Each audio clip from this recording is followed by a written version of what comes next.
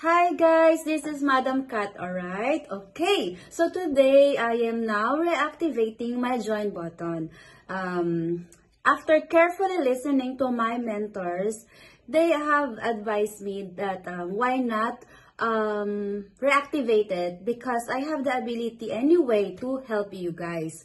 So um, I just want you to know that um, before uh, before hitting the join button, please know know your needs. Alamin nyo muna po yung kailangan nyo. And then choose. Okay? And then um don't um don't just hit it because um dahil lang gusto nyo or dahil uh, in siya ngayon.